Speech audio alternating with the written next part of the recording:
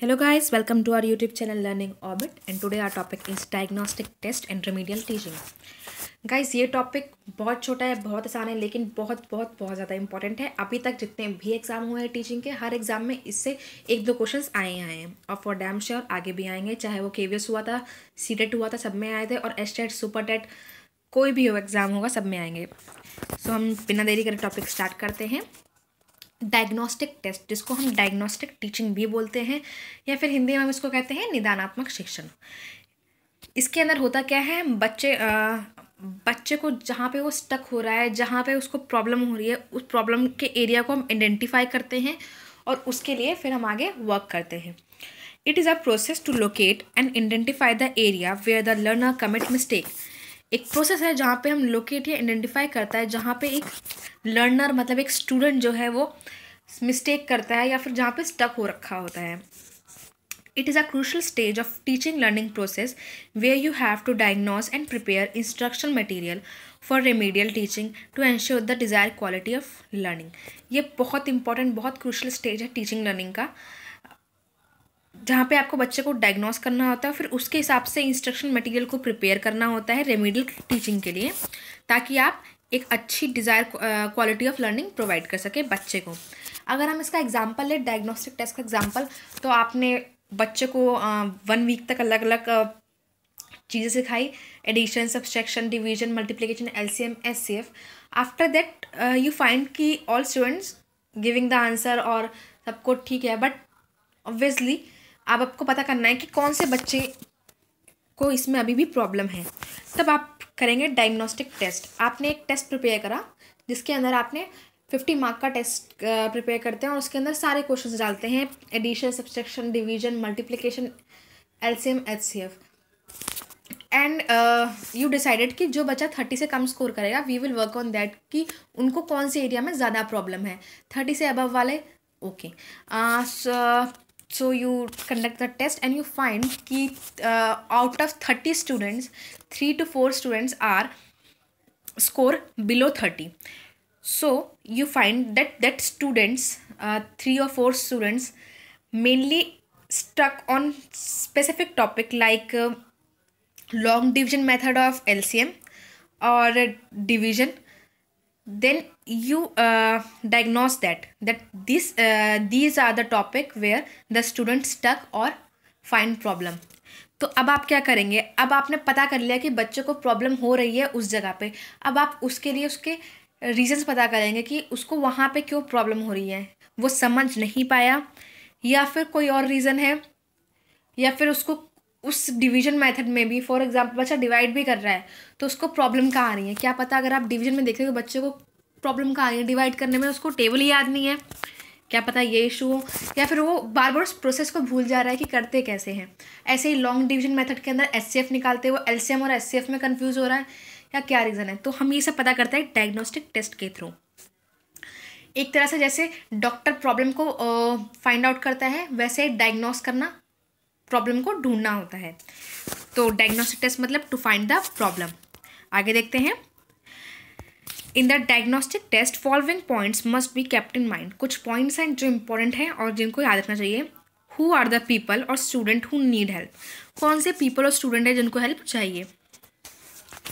Guys as a teacher आप कहीं ना कहीं क्लास में आपको इंट्यूट हो जाता है कि हाँ उस बच्चे को या उस बच्चे में प्रॉब्लम है। ये नहीं कि प्रॉब्लम है कि उसको आता ही कुछ नहीं है। उसको इस टॉपिक में कहीं ना कहीं वो स्टक होता है। क्योंकि जब भी इस टॉपिक पे आता है, या तो वो पीछे हो जाता है, या फिर उतने अच्छे से अप्लाई नहीं करता एज एन उस और सारी क्लासेस में करता है। What are the where the error located error है कहाँ पे? वही हम डायग्नोस्टिक्स से पता करते हैं कि एरर कहाँ है। हमारा काम ही यही है कि प्रॉब्लम कहाँ आ रही है। एलसीएम में आई एल और एस में कन्फ्यूज़न में आ रही है, क्या है? Why did the occur why did the error occur और एरर अकर होने का रीज़न क्या है? उसको वो टॉपिक समझ में नहीं आया, या फिर आपने जिस तरह से समझाया वो उसको समझ नहीं आया। तो उस टाइम पे आप अपना टीचिंग मेथड चेंज करेंगे। Guys remedial teaching sorry diagnostic teaching एक तरह से टीचर और स्टूडेंट दोनों के लिए इंपॉर्टेंट है। टीचर के लिए इसलिए कि उसको मालूम पड़ता है कि वो जिस तरह से पढ़ा रही है, क्या वो सही है, क्या उससे हर एक बच्चा समझ रहा है, या फिर क्या पता उसको अपने टीचिंग मेथड में चेंजेस करने की ज़रूरत है। और स्टूडेंट के लिए भी इंपॉर्टेंट है क्योंकि स्टूडेंट को अपनी प्रोग्रेस का मालूम पड़ता है और टीचर को स्टूडेंट की प्रोग्रेस का मालूम पड़ता है और उस पर वो वर्क कर सकते हैं मिलके। तो वही है why did the error occur पता करना कि क्यों प्रॉब्लम हो रही है। क्या पता बच्चे को वो टॉपिक ही समझ रहा हो और क्या पता वो उस क्लास में अपसेंट रहा हो जब समझाया गया हो। और there are very reasons now next four step of effective diagnostic test. Effective diagnostic test करने के चार स्टेप। पहला आइडेंटिफाई द स्टूडेंट्स सबसे पहले आइडेंटिफाई करना कि कौन से बच्चे को प्रॉब्लम है। आप मैथ्स टीचर हैं, चलो आप मैथ्स नहीं हैं, आप कोई और सब्जेक्ट के टीचर है, किसी भी सब्जेक्ट के टीचर है, पूरी ओवरऑल क्लास के प्रॉब्लम सब्जेक्ट के टीचर है तो कौन से बच्चे को प्रॉब्लम है पहले वो पता करना। एनालाइज द मिस्टेक उसकी मिस्टेक को एनालाइज करना कि बच्चा बार बार उसी जगह पे एनालाइज मिस्टेक कर रहा है तो वो उसको क्यों हो रही है? क्या पता वो कंफ्यूज हो रहा है किसी दो चीज़ में और बार बार इस चीज़ को गलत कर देता है कुछ और सोच के? या फिर उसका वो कंसेप्ट क्लियर नहीं हुआ है? या फिर कोई और रीज़न डिस्कवर द रीज़न उस रीज़न को पता करना। वही एनालाइज कर लिया। सबसे पहले एनालाइज करेंगे कि ठीक है, यहाँ यहाँ यहाँ इसको प्रॉब्लम हो रही है। अब उसको डिस्कवर करना। अच्छा उसकी प्रॉब्लम का रीज़न ये है। उसके बाद प्रोवाइडिंग रेमिडियल टीचिंग फिर रेमिडियल टीचिंग देना। अब रेमिडियल टीचिंग क्या होता है, वो हम आगे देखेंगे। नेक्स्ट रेमिडियल टीचिंग क्या होता है? Remedial teaching it is a process to provide help and remedies to the student who are facing problem in any subject in any area so that they can understand the concept ये process है जहाँ पे हम बच्चों को remedy देते हैं। मतलब इसको हिंदी में क्या कहेंगे? रेमेडियल टीचिंग को उपचारात्मक शिक्षण। उपचार देंगे कि बच्चे, जहाँ पे बच्चा प्रॉब्लम फेस कर रहा है, चाहे वो कोई सब्जेक्ट हो या फिर कोई एरिया क्योंकि हमारा जो टीचिंग टीचिंग मेथड है, वो बताता है कि हमें कभी भी बच्चे को बस सिर्फ़ सब्जेक्ट नहीं ओवरऑल डेवलपमेंट पर ध्यान देना चाहिए। तो उसके अंदर सब कुछ आता है। उसका बिहेवियर एस्पेक्ट्स भी आता है, उसका पर्सनैलिटी एस्पेक्ट भी आता है, उसका लर्निंग एस्पेक्ट भी आता है। तो उसको किसी सब्जेक्ट में प्रॉब्लम है, कोई बिहेवियर इश्यूज़ है तो हर चीज़ देना और उसकी रेमेडी प्रोवाइड करना। ताकि बच्चे उस कंसेप्ट को समझ सके। उसके बाद आइडेंटिफाई द लर्निंग गैप्स और providing extra support called remedial teaching पता करना कि बच्चे को कहाँ पे और किस जगह पे प्रॉब्लम है, उसको आइडेंटिफाई करना और उसके हिसाब से रेमिडियल टीचिंग देना होता है। रेमिडियल टीचिंग या फिर एक्स्ट्रा क्लासेस देना या एक्स्ट्रा सपोर्ट देना होता है रेमिडियल टीचिंग फॉर एग्जांपल आपने वो तीन चार बच्चे निकाले कि उनको एलसीएम या एससीएफ में कन्फ्यूज़न है या फिर डिवीज़न में प्रॉब्लम है तो आपने उनके लिए एक अलग क्लास अरेंज करी।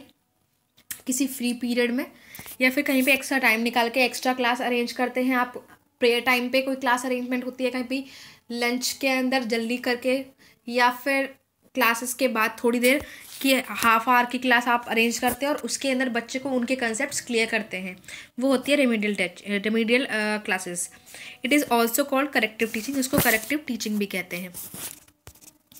Next characteristics of remedial teaching characteristics क्या है रेमीडियल टीचिंग के?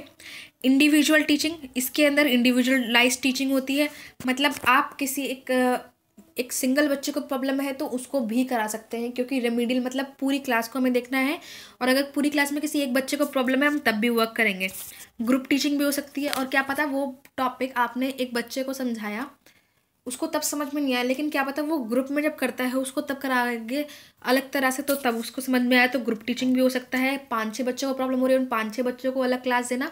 दोनों हो सकता है आप एक बच्चे को दे सकते हैं और चार पाँच बच्चों को भी। तो ग्रुप और इंडिविजुअलाइज दोनों।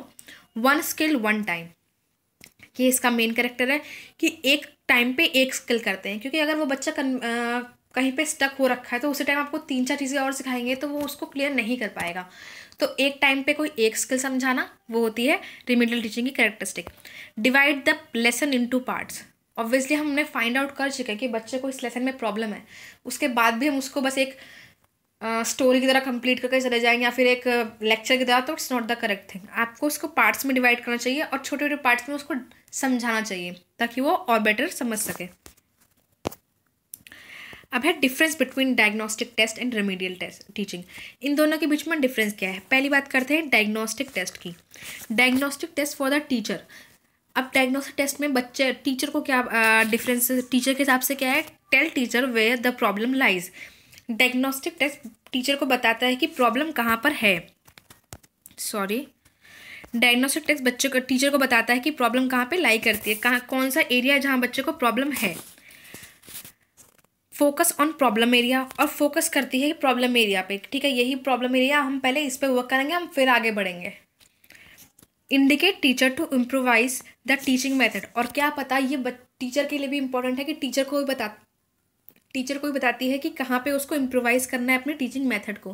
क्या पता टीचर अपना मेथड चेंज कर ले तो वो हर बच्चे को समझ में आ जाए। रेमिडियल की बात करते हैं। रेमिडियल टीचिंग अगर फॉर द टीचर्स देखते हैं help teacher give specific feedback teacher को हेल्प करती है एक स्पेसिफिक फीडबैक के लिए। रेमिडियल टीचिंग से क्या होता है? बच्चे को हमने problem solve problem find out करी, फिर उसके लिए रेमिडियल क्लासेस दी। अब रेमिडियल क्लासेस के बाद जो रिज़ल्ट आ रहा है, उससे टीचर को एक स्पेसिफिक फीडबैक मिलता है कि बच्चे को समझ में आया, नहीं आया, या अभी भी उस पर वर्क करने की ज़रूरत है। Help to plan the next step अब बच्चे को समझ में आ गया तो नेक्स्ट स्टेप प्लान करने में हेल्प करेगा। और साथ ही साथ यही भी होगा कि बच्चा ऐसे नहीं इस तरह समझ रहा है। तो मुझे अपने आप के अंदर, अपनी टीचिंग स्ट्रैटेजीज़ के अंदर भी चेंजेस करने हैं। उसके अंदर हेल्प करता है टीचर को बताने में। अब diagnostic test for the student student के लिए कैसे help student to identify problem area बच्चे को भी अपनी प्रॉब्लम एरिया पता होना चाहिए। अपना हार्ड पॉइंट और अपना सॉफ्ट पॉइंट दोनों मालूम होना चाहिए कि ठीक है, मैं डिवीज़न अच्छे से नहीं करता तो मैं डिवीज़न एरिया पे पहले वर्क करूँगा।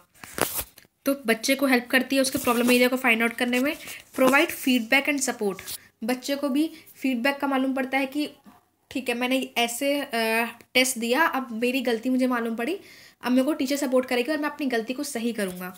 तो टीचर के लिए डायग्नोस्ट बच्चे के लिए इसलिए इंपॉर्टेंट है। अब वही रेमिडियल टीचिंग बच्चे के लिए कैसे है?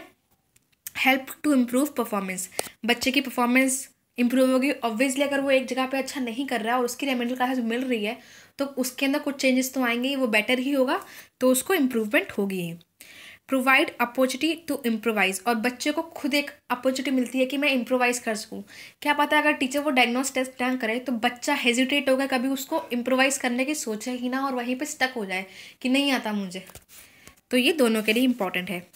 तो एट द एंड हमें क्या मालूम पड़ता है कि डायग्नोस्टिक टेस्ट और टेस्ट और रेमीडियल टीचिंग दोनों टीचर और स्टूडेंट दोनों के लिए इम्पोर्टेंट है। इससे टीचर को भी अपने बारे में पता चलता है कि वो जिस तरह से पढ़ा रही है, जो प्लान क्लास में यूज़ करती है पढ़ाने का स्ट्रैटेजीज मेथड या कुछ भी यूज़ करती है टीएलएम वो सही है या नहीं है, या फिर उसको और कैसे इम्प्रूव करना है। और बच्चों को भी अपनी अपनी प्रॉब्लम्स का, अपने सॉफ्ट कॉर्नर्स और हार्ड कॉर्नर का पता चलता है। Now practice time sorry what's that? Uh, uh, wait. So here the practice time. हमारा क्वेश्चन नंबर वन है remedial teaching refers to teaching option A to address learning gaps option B to test learner periodically option C teaching tuitions option D to help right learner to excel remedial teaching किस uh, किस चीज़ को refer करती है? क्या होती है remedial teaching to address learning gaps बच्चे की लर्निंग गैप्स को एड्रेस करने के लिए। Question number two first step of diagnostic teaching हमने first step of diagnostic teaching क्या कहा था? हमारा पहला स्टेप होता है आइडेंटिफाइंग दूसरा होता है एनालाइजिंग थर्ड होता है डिस्कवर और फोर्थ होता है प्रोवाइड रेमिडियल टीचिंग तो फ़र्स्ट स्टेप है हमारा identify the student option C guys in steps को आप लाइन वाइज याद कर लीजिए। बहुत बार इनको अरेंज करने के लिए भी आता है तो हम अरेंज भी कर देते हैं साइड में। अगर अरेंज करते हैं तो सी आता है पहले, फिर आइडेंटिफाई द स्टूडेंट फिर आता है एनालाइजिंग द मिस्टेक मिस्टेक को एनालाइज करना मतलब ए उसके बाद है डिस्कवर द प्रॉब्लम प्रॉब्लम को डिस्कवर करना डी एंड फिर last B provide remedial teaching तो ये इसका सीक्वेंस है। ओके okay गाइज़ हमारा फिर नेक्स्ट क्वेश्चन लेते हैं।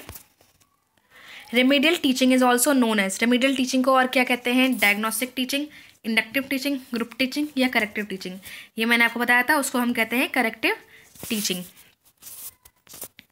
so option D is correct question number four diagnostic and remedial teaching is useful for किसके लिए इंपॉर्टेंट है? किसके लिए यूजफुल है डायग्नोस्टिक टीचिंग टीचर के लिए, ज़रूर पेरेंट्स के लिए नहीं स्टूडेंट्स के लिए हाँ या फिर टीचर और पेरेंट्स दोनों के लिए स्टूडेंट दोनों के लिए तो option D is correct teacher and students question number five लेते हैं. How many skill should be teach in remedial teaching at a time कितने स्किल रेमीडियल टीचिंग में एक बार में करानी चाहिए? ये हमने बताया था. तो ऑप्शंस क्या क्या है हमारे? Option number one number of skill at a time एक ही टाइम पे बहुत सारे स्किल नहीं. One skill at one time yes one skill at one time option B is correct so guys ये थे हमारे कुछ क्वेश्चन इंपॉर्टेंट जो थे, हमें लास्ट ईयर आए हुए हैं. सो so गाइज़ अगर आपको वीडियो पसंद आए तो please like comment and subscribe और thank you for watching thank you guys stay tuned